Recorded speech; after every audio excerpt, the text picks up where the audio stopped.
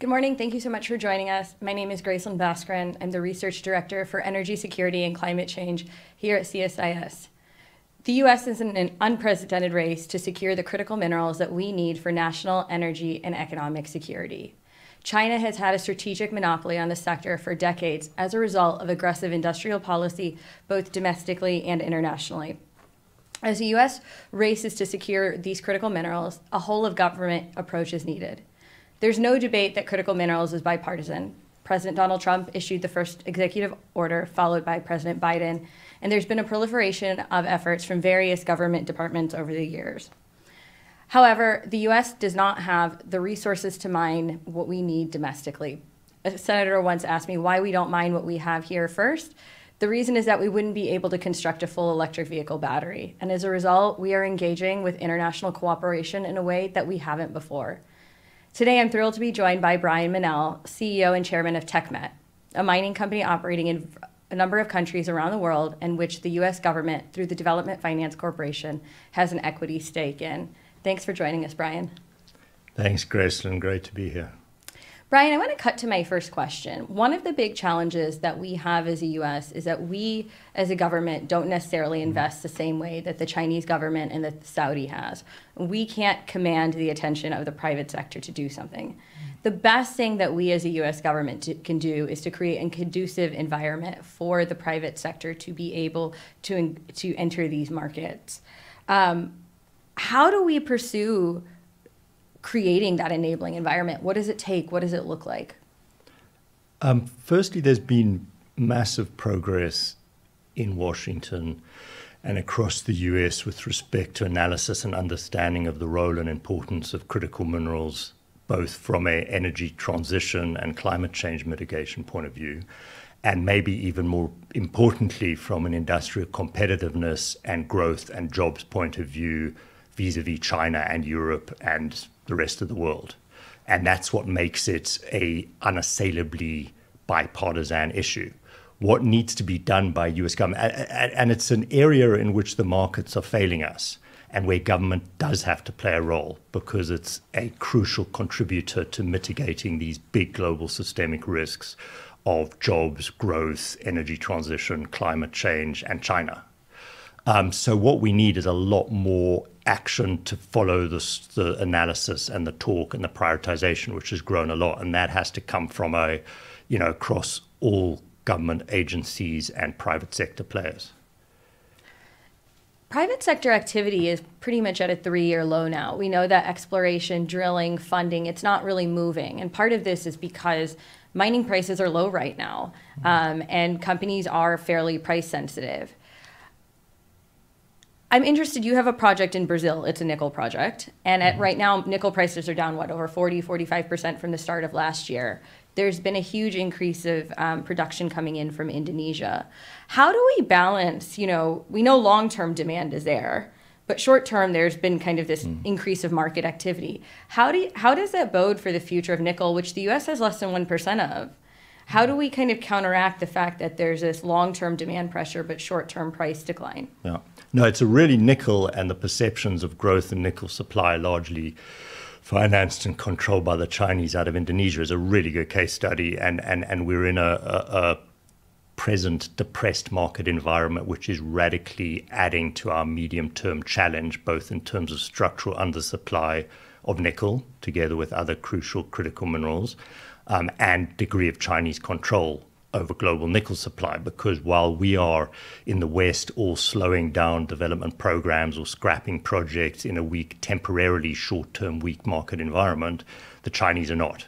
You know, they continue to accelerate investment programs to increase their dominance over global supply three, four years out, when the extent of this global supply shortage is going to be that much greater as a result of the present temporary weakness in the market. And that temporary weakness in the case of nickel is a factor of macro um, elements of the equation that are common to all markets, but specifically in nickel, a product of the overhyped um, Chinese led investment in growing Indonesian nickel laterite production.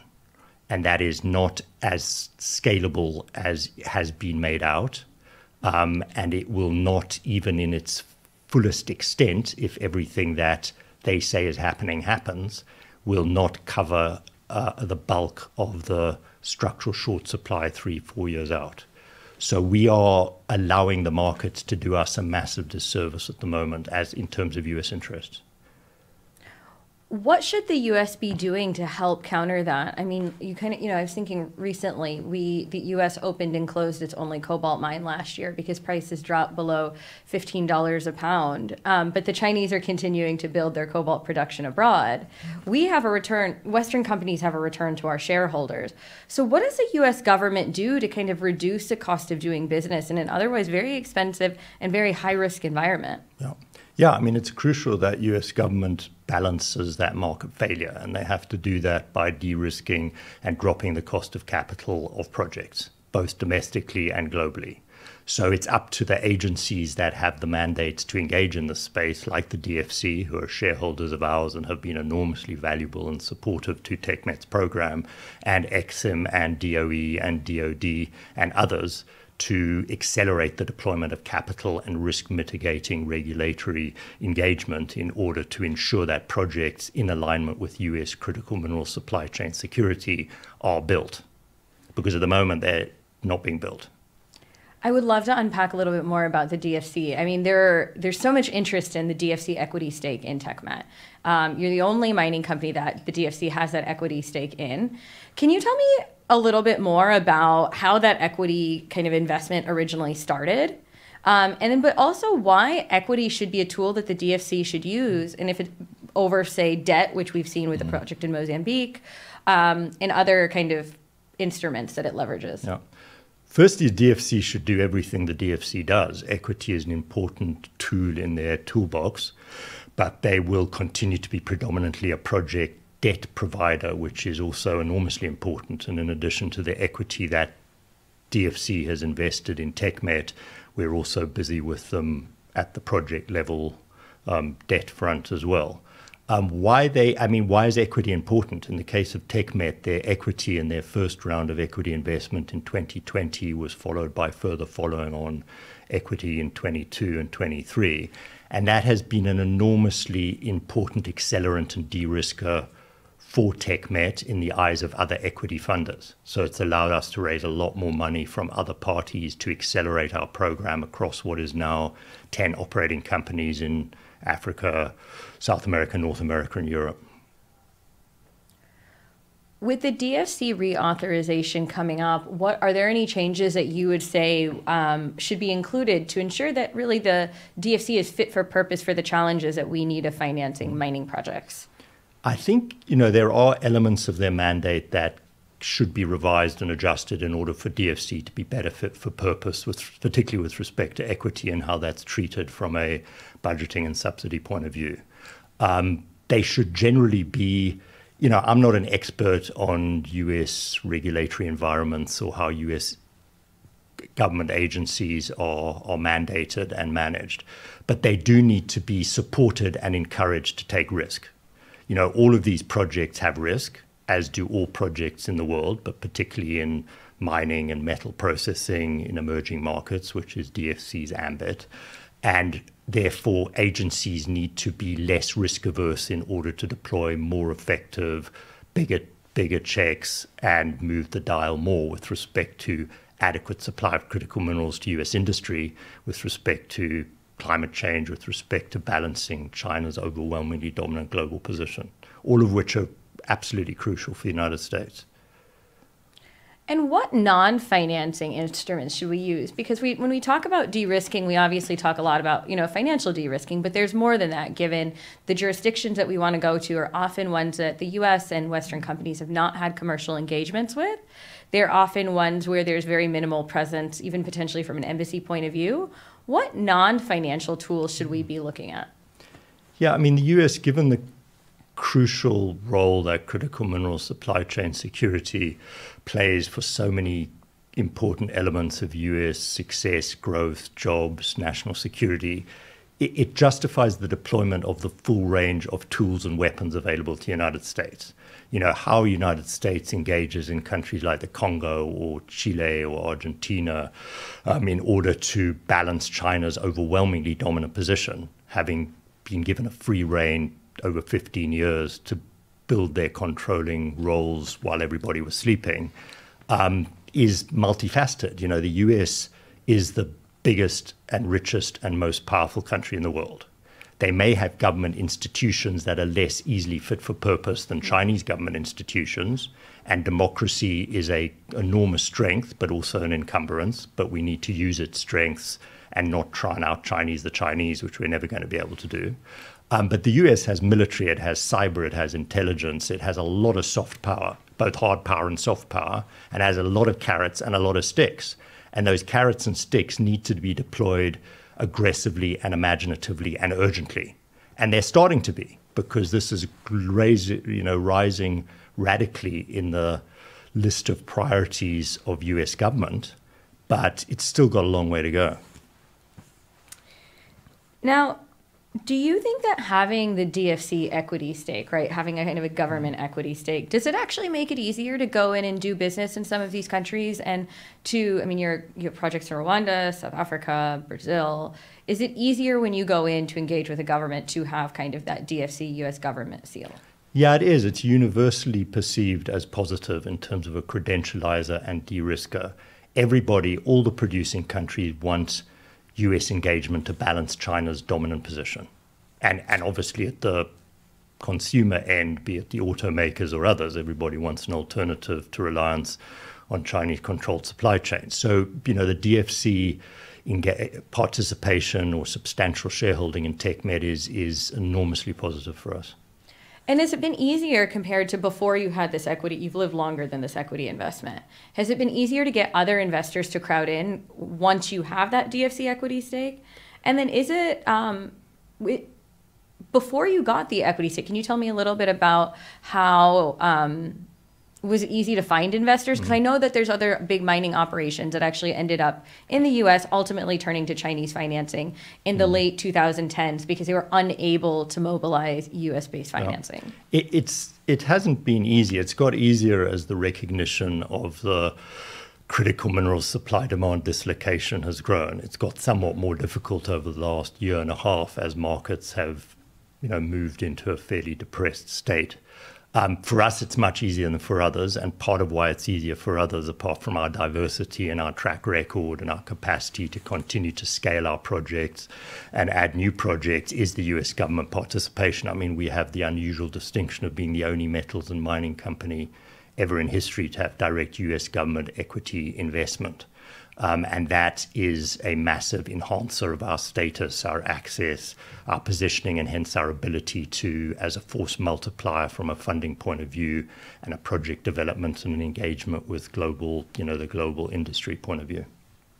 And it was really a, a, quite a world platform moment last year at COP28 when you know we we announced we were going to triple renewable energy capacity globally, but we didn't really back that with the clear critical minerals announcement. However, obviously the TechMet announcement with the DFC kind of became the the one big critical minerals announcement out of that. So to be, I mean, it has become quite a staple of the dialogue internationally and how the U.S. is engaging has been through mm-hmm. that TechMet vehicle.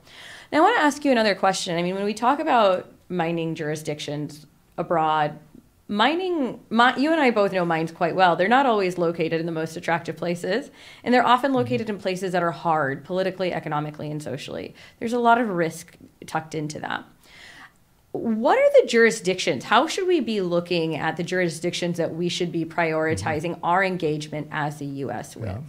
I think, I mean, as TechMet, we go to jurisdictions where we're confident we can ensure high ESG standards and transparency and good governance, which is part of our commitment to DFC and part of our DNA and what we have sought to be at the forefront of our industry um, with respect to from inception. Um, so that's a big driver for us. Um, however, from a US interest point of view, um, the jurisdictions, one can't be too fussy about jurisdictions. You know, the Congo is the dominant supplier of cobalt and will remain the dominant supplier of cobalt to the global markets for the coming years.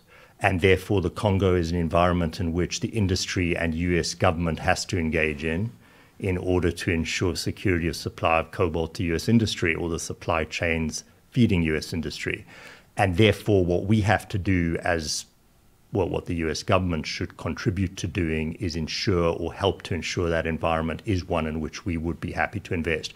We as TechMet have not thus far invested in the Congo for the reasons of concern with respect to ESG standards and transparency.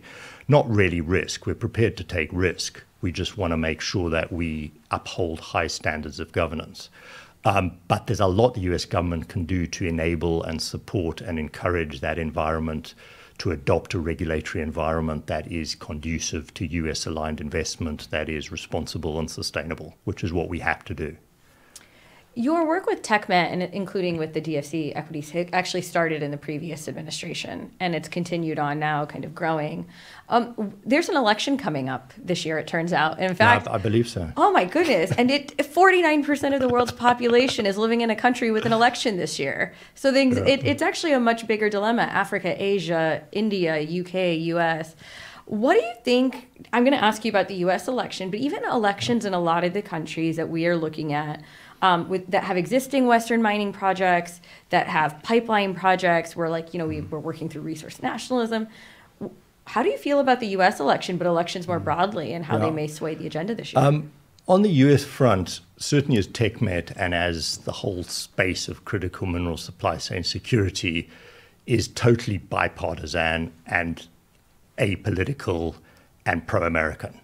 You know, we are dedicated as TechMet um, to supply well governed US aligned critical mineral supply chains to feed US industry. We're at the, at the beginning of a massive global transformation in energy and in mobility.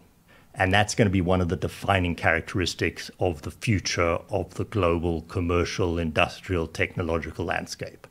And the winners, countries and companies, are going to be those that secure reliable preferential access to critical mineral supply chains now, and the losers are going to be those that don't.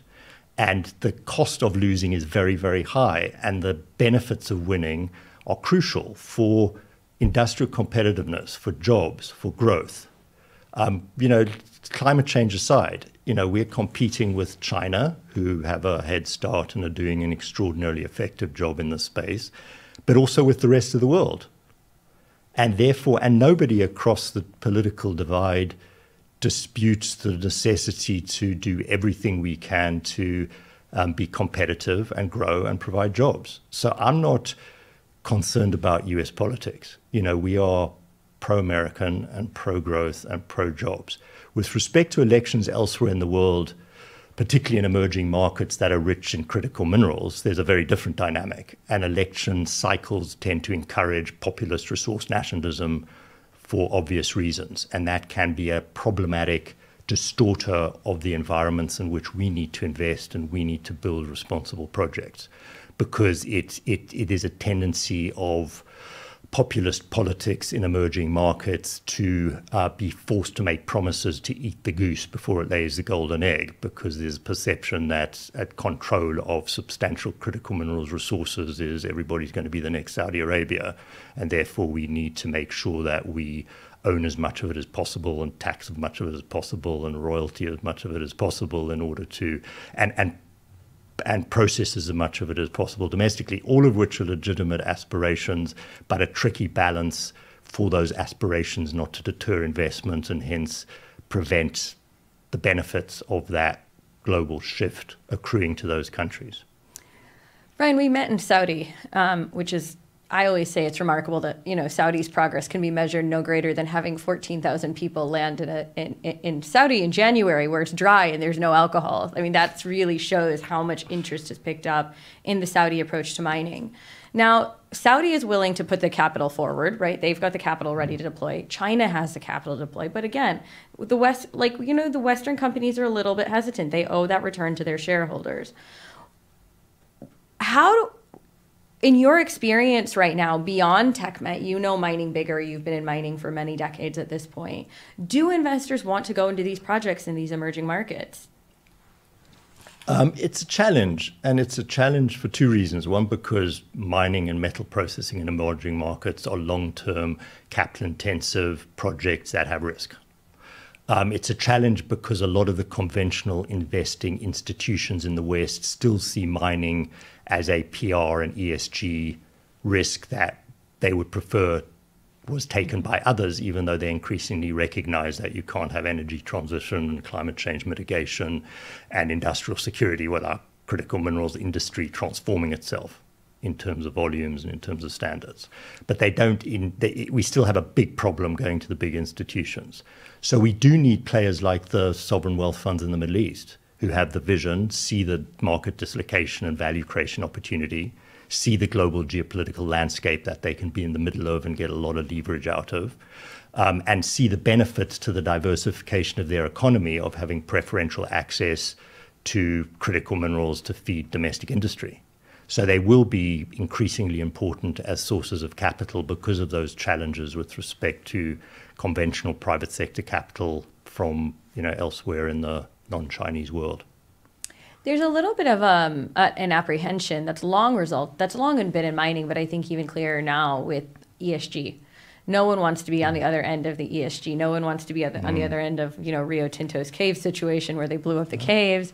No one wants to be on the other end of the child labor accusations. What are mm. you doing as TechMet in terms of ensuring the ESG is intact, that there is that transparency, because it's a really important form of uh-huh. form of non-financial de-risking.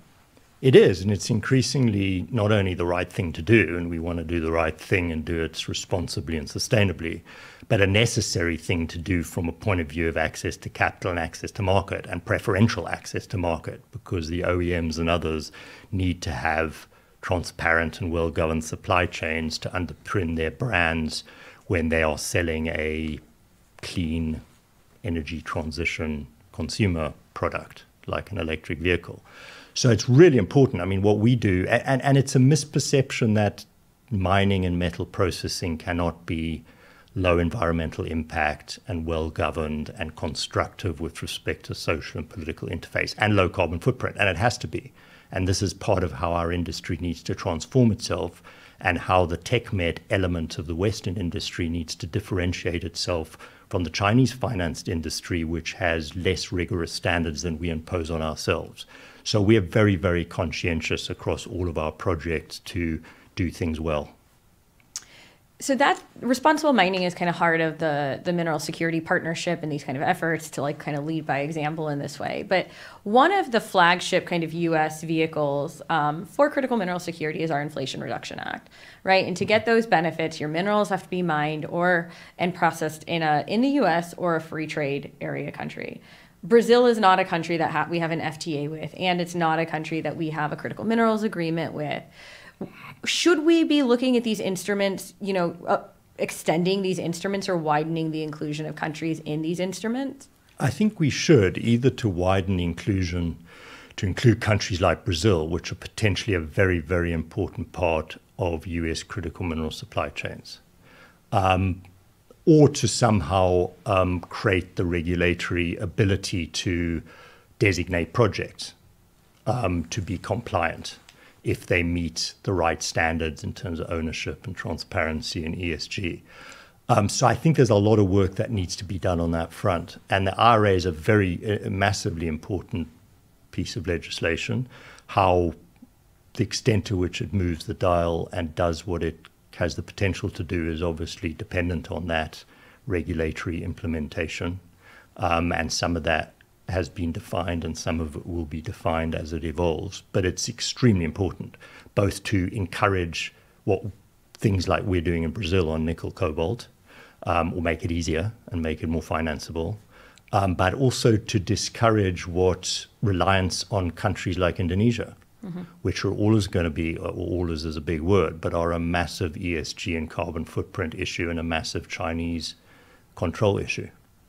So I'm going to ask you a hypothetical situation now. So we're we can take a project that you already have.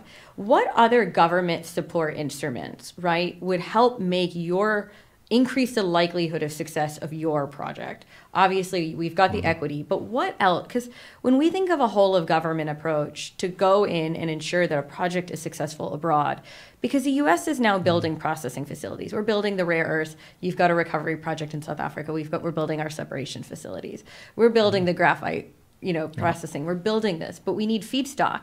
And we you can process anywhere, but you can't get your feedstock anywhere. Yeah. So what what would be maybe three three areas of support that the government could provide to a private you know sector company to maximize mm. chance of success yeah if you take our piauí brazilian nickel project which is a good example we have financed and built the first commercial unit we've been in continual production for 18 months and we're busy securing a 1.2 billion dollar funding package for the large scale expansion of that project to be one of the lowest cost and certainly one of the lowest carbon footprint producers of nickel and cobalt hydroxide to feed um, battery metal supply chains.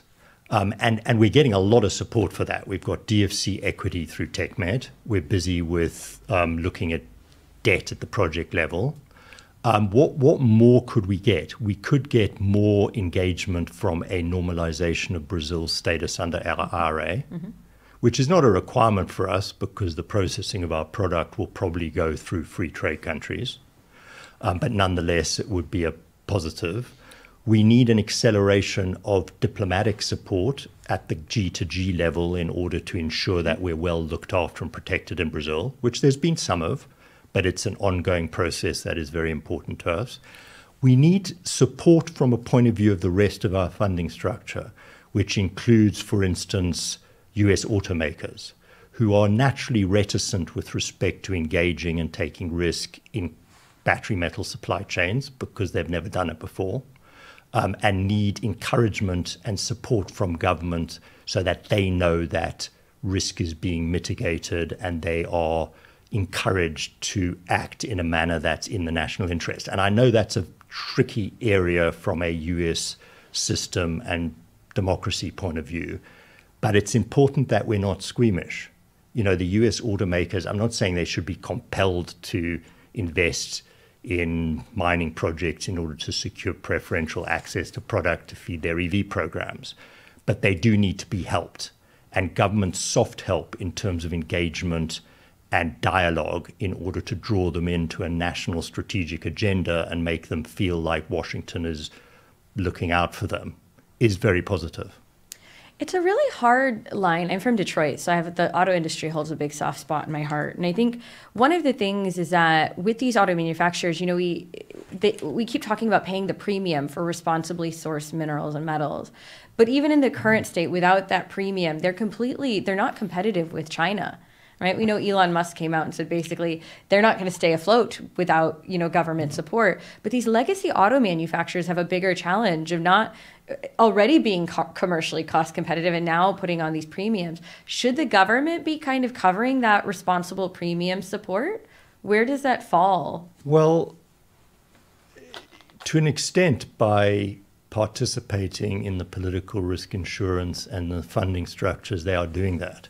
If the DFC lends money to projects at preferential rates relative to private sector sources of debt, if Exim engages with projects which increasingly they have the ability and hopefully will increasingly have the ability to do, if the DOE can be a little bit more flexible with respect to how their loan program and grant program support supply chains beyond simply US projects, and that is effectively subsidizing the supply chains of responsibly sourced and non-Chinese controlled critical minerals or battery metals for, for US automakers. So it doesn't have to be grants to make the nickel hydroxide, you know, lithium hydroxide or nickel sulfate feeding the Ultium GM LG battery manufacturing partnership more cheaply than they would be fed by simply continuing to get supply through Chinese controlled supply chains. Um, it's much more diverse than that, but it, it's happening, and IRA is part of it happening. Absolutely. Commodity prices falling is a relatively new phenomenon. I mean, it's the last couple of years, right? I think it was the start of 2022 that JP Morgan said, you know, we're, we're at the start of a commodity super cycle. And all of the mining companies were grinning ear to ear because that's high prices for 10 years, right? But within six months, it became evident that that, uh, that, that prediction was incorrect. Do you, I mean, what do you see as being kind of in the next five years? Do we see our price? I mean, the, the mining market for as long as we've known it, boom and bust and boom and bust. Mm-hmm. The bust is just at an inconvenient time right now. It, it is, it is, because it's adding enormously to the medium term short supply and it's adding enormously to Chinese overwhelmingly control control over critical mineral supply chains globally. Um, so it's a very inconvenient time. It's also a time of enormously compelling opportunity for countries like TechMet, um, who, provided we can continue to finance, can create an enormous amount of value mm. by investing aggressively in a weak market before what will be a 10 year bull run that is inescapable and unavoidable, particularly as a result of the increase in medium term structural short supply as a result of short term market weakness. So it's, it's, a, it's a problem and an opportunity, but it is one that we have to remedy. And, and it came about as a result, you know, as I mentioned, to an extent, Chinese manipulation of markets in order to continue or perpetuate dominant positions um, as a result of factors outside of the critical minerals world, which is just the world's weaning itself off um, plentiful, cheap liquidity, which it had become drunk on over the last decade up until a couple of years ago, and high inflation and higher interest rates, which will persist for a period of time. Um, and it's a product of the fact that we had a speculative boom in the prices for these metals two years ago, which resulted in a degree of short term overproduction. But it's irrelevant. We're not in a cyclical market, we're in a 20 year supply demand dislocation. There'll be volatility along the way, and there'll be overcorrect, overshoots, and overcorrections, as we've seen. But the overall outlook is unavoidably compelling. These metals are going to be the ingredients of transformative elements of the global industrial infrastructure, and they are in structural short supply. And mines do take eight to 12 years to build, and battery gigafactories take two or three years to build. So there will be a mismatch and a continual sporadic undersupply for the next 5, 10, 15 years.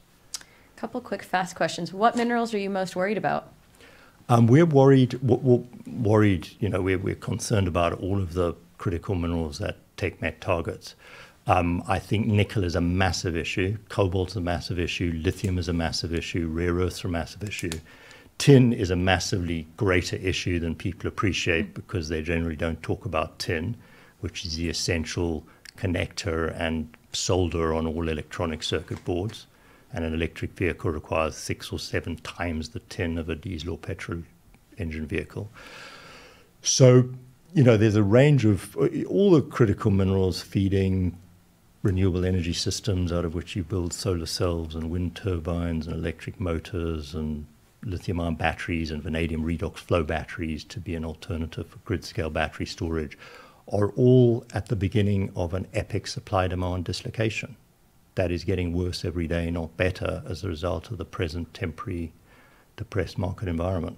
I want to ask one last question. There's this kind of, we're kind of stuck in two places here, right? Which is we want to build domestic security, production where we can, processing in particular, because we know that China, the biggest bottleneck we arguably face is at the processing point. If you look at your six biggest critical minerals, China is only a top three producer for two, but they are a top mm-hmm. three processor for all six. Um, so we want to build that those capabilities in the U.S. wherever we can. But then you have the other side, which is in the last year particularly, you've seen a huge rise in resource nationalism, export mm-hmm. restrictions kind of coming out of places like Namibia, Ghana, Zimbabwe already had mm-hmm. one, Malaysia is designing one. You know, you, it, the mm-hmm. list is getting longer and longer, partially because countries are going, I have a lot of value under my feet and I can capture that value.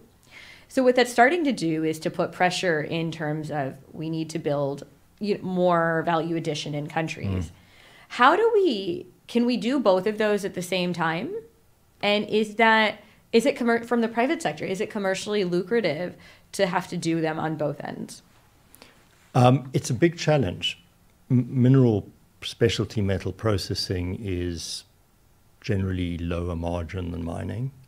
And it's a very difficult area to build capacity in a competitive manner where you generate sustainable returns in the face of a Chinese dominance of critical minerals processing, which is almost unassailable. They've done a brilliant job of building these global supply chains and scaling them and dominating them. And they've done that with advantages we don't have, like cheap or free government money, like cheap land, cheap power, economies of scale, and, and a state which is prepared to subsidize the low margin elements of a supply chain in order to control the supply chain, which we don't have the luxury to do. So we do need a degree of vertical integration, and the idea that you can just build lithium hydroxide plants in the States because you need them and the US should have them is somewhat naive unless somebody's going to give you cheap money or free money, free land and free power, in which case obviously you can build it anywhere and compete and make money. So that's element of the supply chain. And, and what you say about China's control, that is a key element of their control. But their control over primary resource is a lot more than it looks superficially, because even beyond what they control in terms of outright equity. They have funding structures, offtake agreements, and arrangements that control a lot more of the primary resource in Africa and Latin America and else in the world, elsewhere in the world than you can superficially see. And there is a hesitancy now to sign those long-term offtake agreements given price volatility. So it kind of only yeah. makes our, it only deepens our challenges. Brian, I think there's very mm-hmm. few people in the world who are better suited to have this conversation. You sit at the nexus of government, you know, the government efforts, but also the private sector, also working kind of across the global south, which are the markets that the U.S. is learning how to engage with for the first time. I know you're so busy. Thank you so much for your time. It has been such a pleasure to have you here. Great. Thanks, Gracelin, and thank you so much for all the work the CSIS has been doing, which has been enormously valuable for our industry.